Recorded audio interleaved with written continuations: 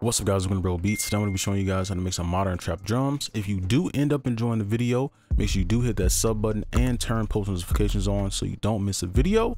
Let's go ahead and hop into it. Alright, so I just want to go over sound selection. So in a nutshell, pretty much just use updated sounds, okay? It's too many producers, and I'm mainly talking to the older producers.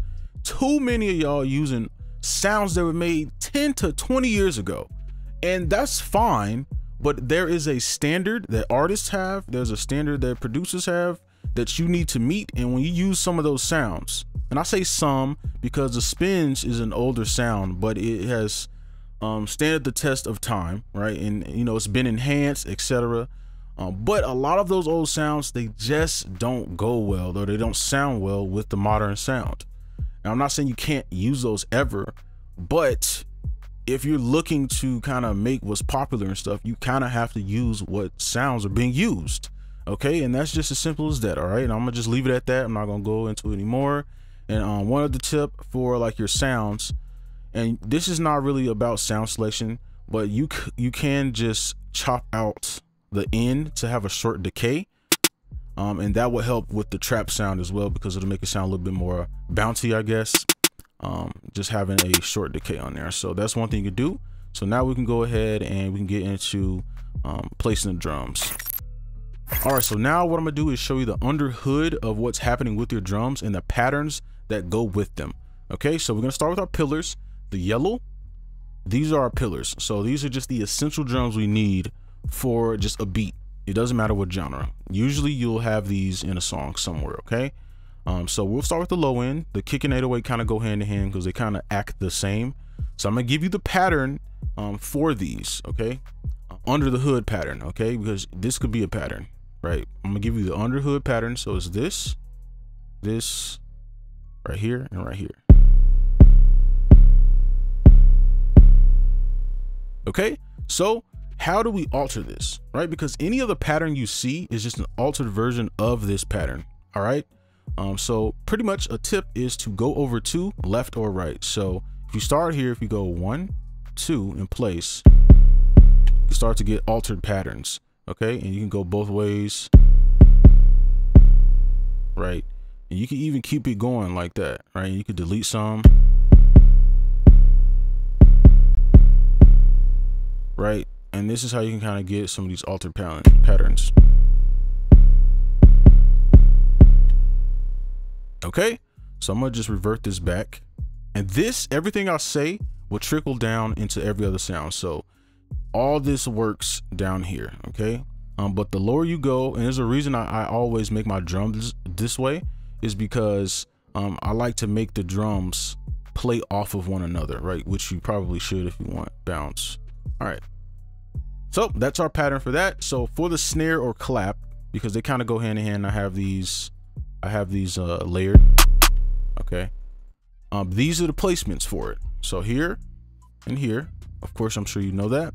And then here, so remember one, two, right? So it's universal, as you can see, it's very universal. You see it's two, two places between. And then right here.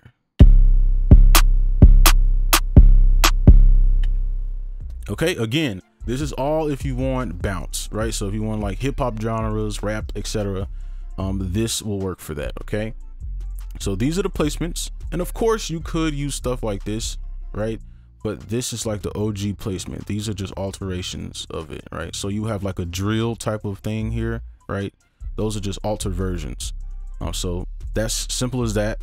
Okay. So now moving on to um, our hi-hat. Now the hi-hat doesn't matter because as long as this is here, this is strong, you can literally put these anywhere. Okay.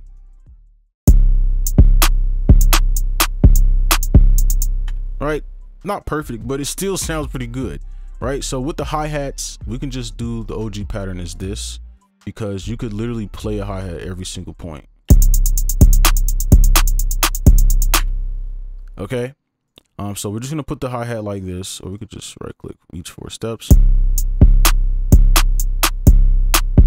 And then you can just make altered versions of it. So if you want to go in and do a chop, and if it'll let me grab it, or you could chop it, and then there you.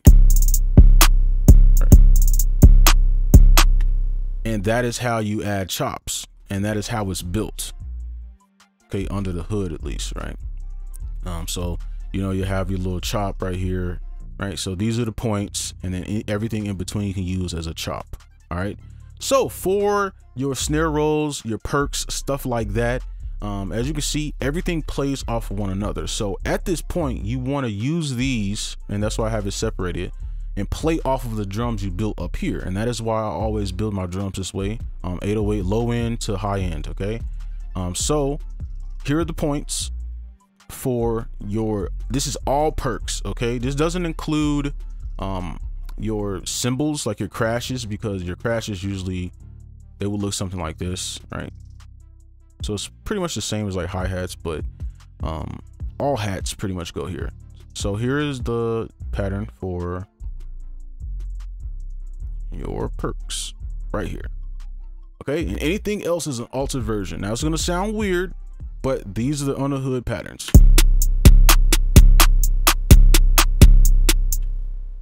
Okay, so you can screenshot that. I'll move the mouse out the way. You can screenshot that and save it. But these are the underhood patterns. And anything else is just an altered version.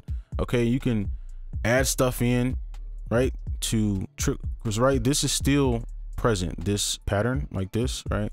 One, two. Except now you're um being dynamic with it, right? So you're filling in this gap so that it trickles down here. Right, and that's why it still sounds good because we're still landing on those place points, right? All right, so that's it. That was the longest part of the video. Now what we're gonna do is I have a melody here. We're just gonna put this into play and make a like a real drum pattern, okay? All right, so now I'm gonna go ahead and throw some drums down. So I'm gonna just be realistic about this. I'm not gonna just play stuff for the sake of using it, right? Um, you're supposed to just have these as like underlying patterns that you, so you can build off of them, okay? Um, so I may change sounds up, etc. So this is the melody.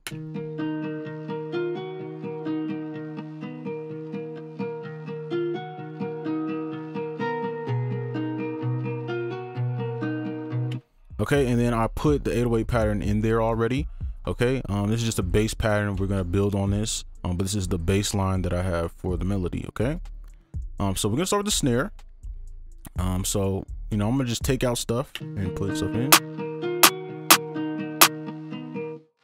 so i think honestly just putting these right here um is fine and I might change it to a rim. I don't know. We'll see later um, when I add the bass. But I think that's fine for the snares. Um, and next, we could throw in the 808 since we have our snare, so we have something to kind of play uh, back and forth with.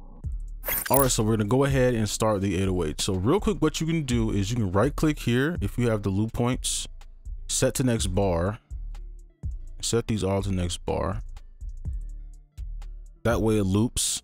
Okay, I just want these to loop so it's easier um, so let's go in here and I'm gonna mute these and we're just gonna mess around with this 808 pattern. Um, let me see if this goes. This should be going out to here. Okay, there we go. And I probably should put a rim in there. I feel like it'll sound better. So we can put them in these spots. Remember these spots?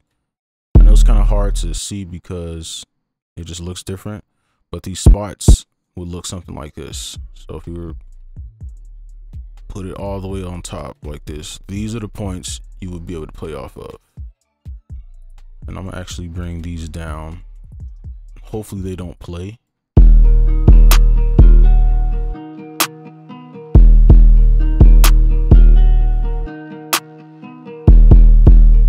Actually, let's put one over here. So this would be like going over two, right?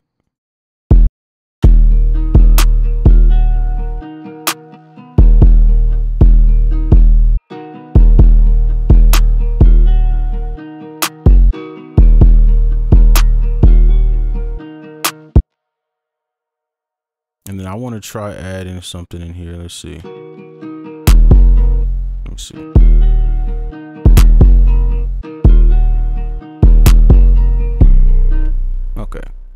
We can do something like that. I wanted to do something else, but I don't want to waste time.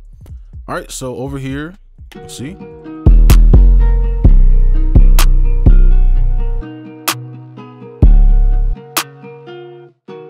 And then let's put it here. So remember these spots like this. And remember we go over two, that would just be over one this way. Okay. And then we can kind of get a, and this is actually a modern pattern.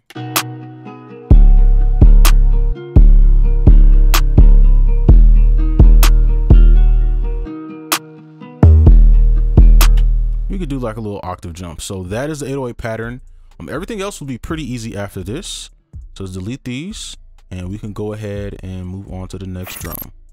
All right, so now we're gonna move on to like the hi-hats and stuff like that. Now I'm not gonna use a kick because this 808 doesn't need one, but typically you would right click, copy. Now this is why, you know, people right click, copy, and they paste it because you're just pasting the points you need. So you alt K, make sure it's on C, and then you can build off of this, right?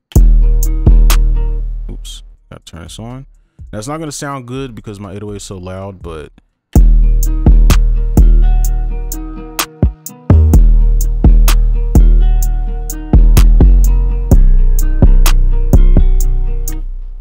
and that is essentially how you would do it but i don't want to use a kick i don't think it's necessary for this so we can go ahead and hide that alt z to hide it okay um so for the hi-hat pretty much you heard already this is fine. So you would just add in um places for your like i don't know your chops. So you can put one here. Okay stuff like that but we'll go in. And honestly i don't even think we need much for this but I just want to show you where to put like your chops and stuff, right? So it's pretty much before something, before or after, right after a pillar hits, okay? So before any of these, so remember the placements. So before any of these pillars hit is exactly where you would put like a chop. Okay, so we could put a chop. Well, I guess we could just do it in here. Right. And then for the grids, pretty much one third step or one half step grid is fine, especially if you do like quick stuff and you can kind of mess around with the velocity.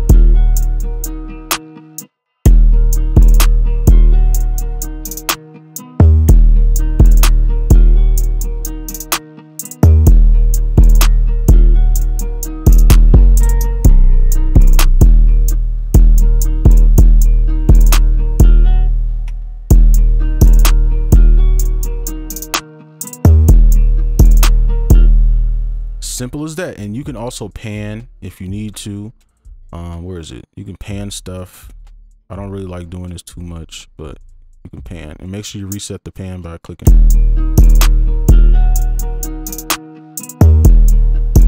And we could pan one over here like that. All right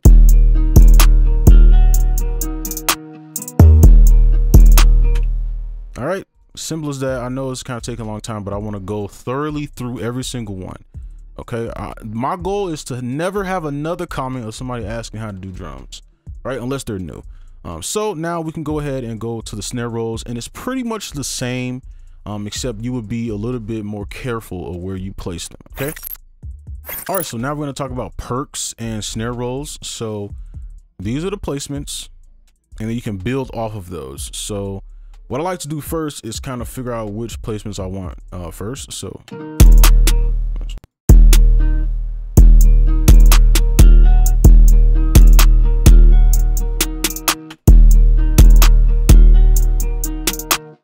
I feel like that's doing a little bit too much, but you can get away with because the snare is very piercing to the ears. So if you have a perc, you can definitely, and I'll just copy this um, and then I'll show you what I mean. Let's just pin it. Um, you can put these in this area. So let's just act like this is a perc. Okay. Um, so in those same spots, you can add the percs.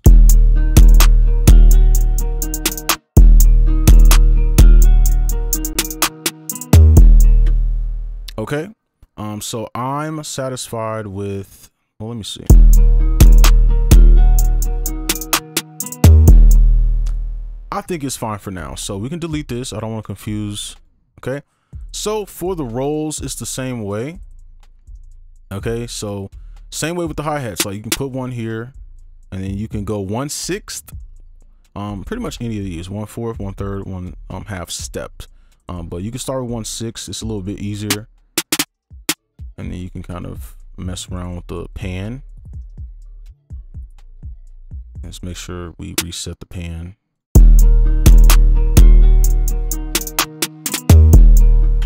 Okay, it's pretty strong pan. I don't really like doing snare rolls too much. They don't sound that great to me personally, but um, I've heard, you know, they do sound good in some instances, but yeah, that's pretty much how you do the snare rolls. And you could do fast ones. Uh, you know, you could do, I'm gonna just throw some in. It's not gonna sound that good, but just to show you. Right, just to show you the different types, whatever. Let's right? And you can throw a little stuff in. Right, so combining some, and this is pretty much the same grid as the one six, one third, right? Just cut in half. So I would suggest probably using this one if you want more like true snare rolls. Okay, but that's pretty much it. I like this. I think it's fine. Um, so what I want to talk about is actually the mixing and mastering lastly.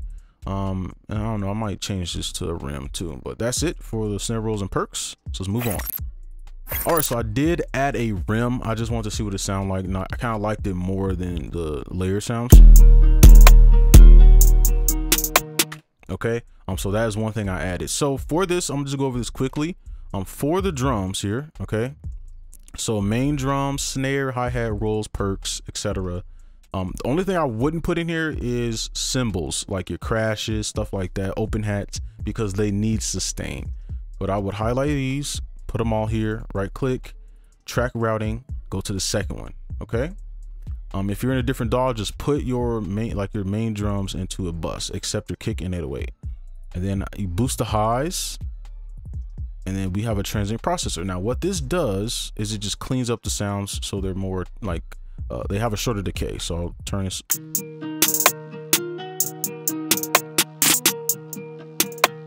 You see how they clean them up? Um, so you can kind of use that and then you can boost the attack a bit. I kind of like them like this a little bit. Okay.